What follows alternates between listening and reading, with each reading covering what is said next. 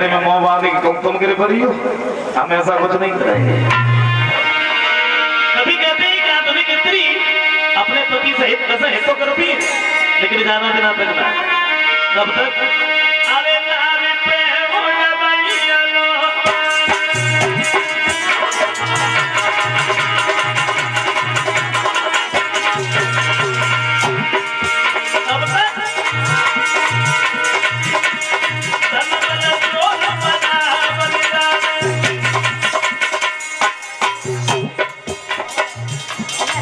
शरीर में खाग और सेवक सोचकी भई है।